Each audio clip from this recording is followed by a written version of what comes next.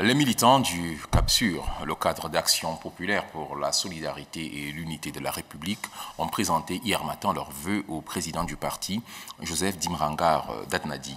Après cette cérémonie, une conférence de presse a été animée par le président du CAPSUR, Falambi Soulgan.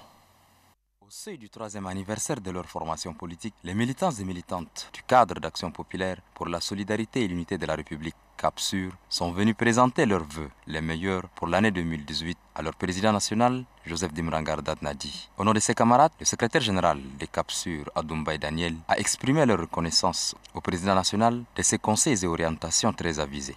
Faisant d'une pierre deux coups, le président national des CAPSUR, Joseph Dimrangar Nadi, a saisi cette opportunité pour échanger avec les hommes des médias sur des sujets de l'heure, notamment la crise économique, la division de l'opposition démocratique ou encore de la légitimité des élus du peuple. S'agissant de la crise économique qui traverse le pays, le président national des Capsures propose qu'il faut nommer des hommes qu'il faut à la place qu'il faut. Quant à la mésentente des partis politiques de l'opposition démocratique, Joseph Dimrangar Nadi signale que c'est l'égoïsme des hommes politiques qui est la cause. Nous disons, le Tchad là, il lui faut un système parlementaire. Ça, c'est notre proposition. Pour que la vie politique se joue à ce niveau-là. Si le peuple n'est pas content et qu'un député décompte, il revient, on ne renouvelle pas son mandat. S'il fait bien, on renouvelle pour, pour que le peuple contrôle les gouvernants. Ce n'est pas possible dans le système présidentiel. S'agissant de la légitimité des élus du peuple, le président des Cap sur repos. Les réformes, ça ne nous intéresse pas, peut-être que je dessus, mais ce qui nous intéresse, c'est quand même qu'il a balancé que il va faire les élections législatives en 2018. Comme ça. Vous ne savez pas, il n'y avait pas d'argument, parce que c'est depuis 2000, euh, juin 2015 que ces députés avaient terminé leur mandat. on a prolongé sans, sans limiter la prolongation en disant simplement que tant qu'on n'aura pas une nouvelle assemblée, cela continue.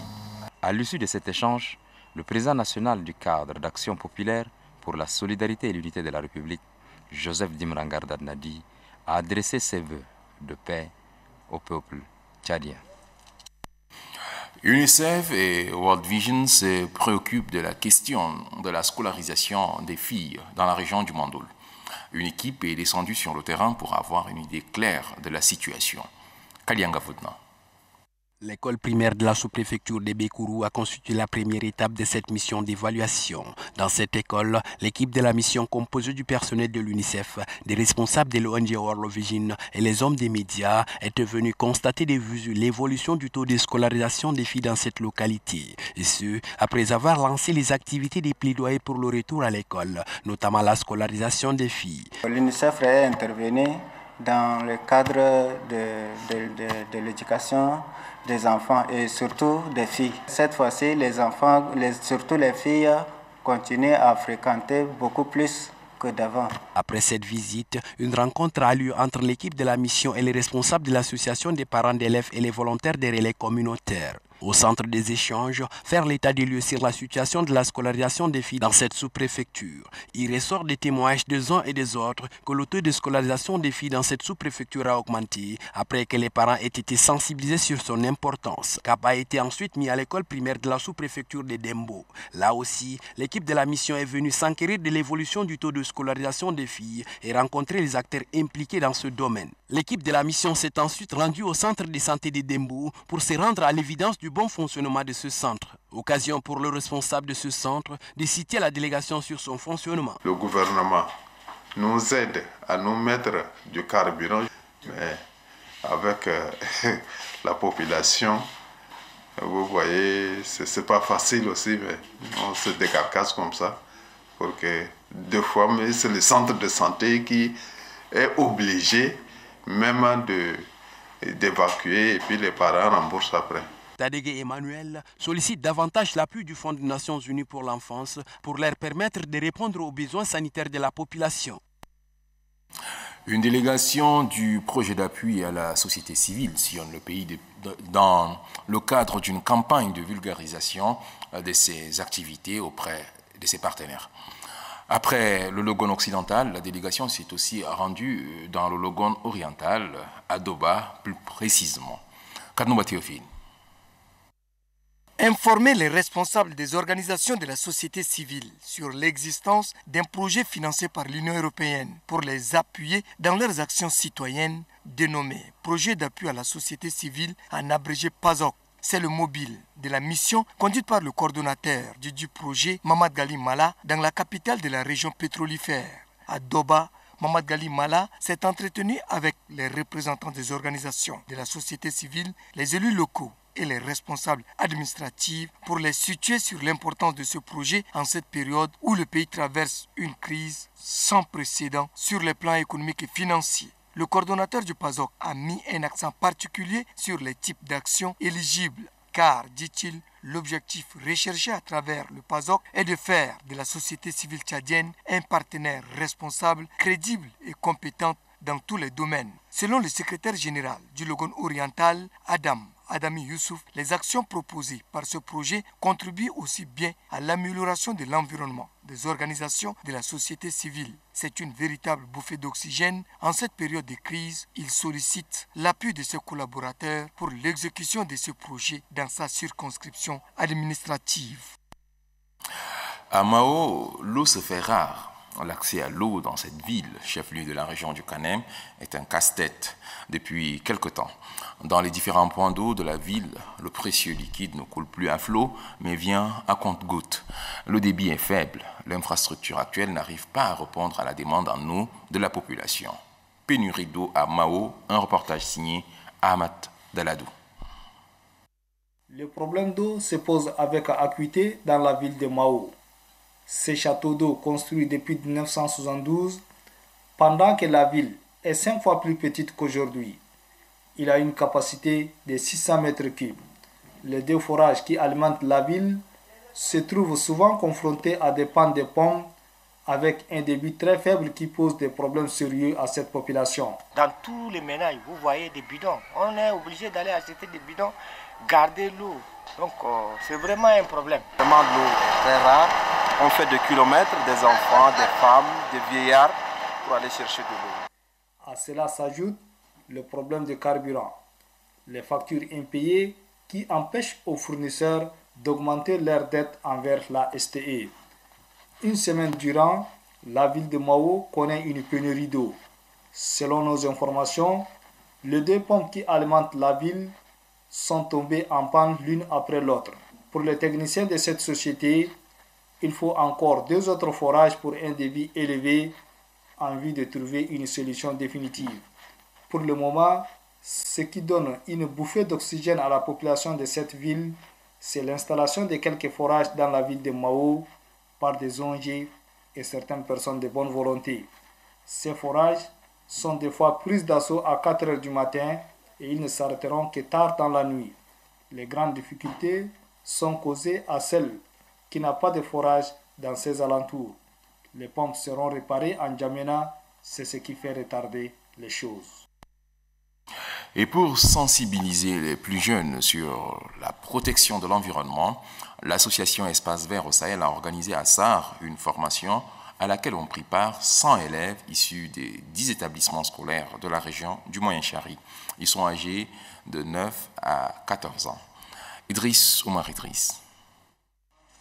L'association Espace Vert du Sahel a organisé le 10 janvier dernier au centre des jeunes Don Bosco de Sar une formation à l'intention de 100 élèves issus des 10 établissements scolaires primaires et secondaires de la région du Moyen-Chari. L'objectif de cette formation est de recueillir la vision 2030 des enfants du Moyen-Chari de manière à les impliquer dans les processus de développement durable. Selon le président de l'espace vert du Sahel, Joël Yudeman, son association travaille beaucoup plus en faveur des enfants par des actions basées sur l'éducation des jeunes futurs cadres de demain. Les enfants ont exprimé leur vision 2030 du Tchad dont ils rêvent. Vision axée sur un Tchad sans corruption, sans conflit agriculteurs-éleveurs qui menace la paix, sans grève des fonctionnaires, sans dégradation de l'environnement. Bref, un Tchad bien gouverné et bien développé. Joël demande, rassure qu'après cette formation, il y aura une autre qui se déroulera en Djamena et regroupera les enfants sélectionnés dans les différentes régions du Tchad. Parlons littérature à présent. Trois livres sont présentés hier au public à l'université Tchad par un auteur que vous allez découvrir dans ce reportage. Ce sont ces trois premiers livres. Ahmad Mohamed Saleh, c'est son nom. Idriss Oumar Idriss. D'un volume de 150 et 119 pages, l'un l'autre, ces livres, écrits par Ahmad Mohamed Saleh, retracent l'histoire du Tchad dans toutes ses réalités. Le premier est intitulé Changement de mentalité. Dans cet ouvrage, l'auteur décrit l'ambition imaginaire des peuples africains, notamment tchadiens, qui espèrent retrouver mieux dans d'autres continents. Pour l'auteur, ces peuples doivent être fiers de leur destin atypique et donner le meilleur d'eux-mêmes pour promouvoir le développement psychopsychique, économique et social de leur continent. Le second livre, Message à la nation, caricaturé par la carte du Tchad, parle des potentialités économiques non exploitées sur l'ensemble du territoire national. Vu l'importance de ces potentialités, l'auteur redonne l'espoir à la nation tchadienne tout en illustrant par quelques pays d'Europe, d'Asie, qui, de néant, étaient devenus des puissances économiques incontestables. Pour y arriver, il invite les Tchadiens à bannir la corruption et à réinstaurer la bonne gouvernance pour transformer le Tchad. En pensant écrire ces livres, Ahmad Mohamed Saleh était l'un des Tchadiens de la diaspora qui a fait le tour dans beaucoup de pays africains, asiatiques et européens afin de vivre cette expérience. Né en Arabie Saoudite vers 1989, d'où il a fait ses études primaires et secondaires en arabe avant de rentrer au pays et continuer à l'université Hekchad. Le responsable de cette institution se réjouit de ses travaux intellectuels présentés par Ahmad Mohamed Saleh qui est dédié à tous les Tchadiens. Ses ouvrages, parus en mai et décembre 2017, sont édités en Inde, précisément à Maïbara. Vous l'avez corrigé de vous-même, ces deux ouvrages qui sont présentés au public. À l'issue de l'Assemblée régionale du district de N'Djamena de l'Église adventiste du septième jour, sept diacres et un ancien ont été consacrés. Reportage Idriss Oumar Idriss.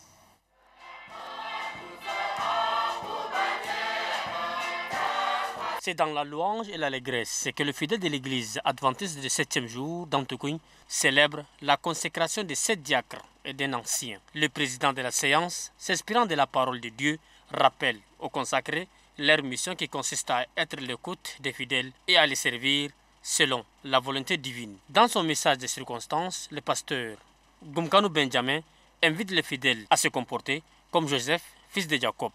Celui-ci a pardonné ses frères qui l'ont vendu aux esclavagistes égyptiens.